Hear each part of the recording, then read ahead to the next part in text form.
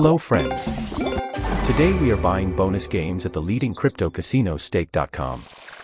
Have a nice viewing to everyone.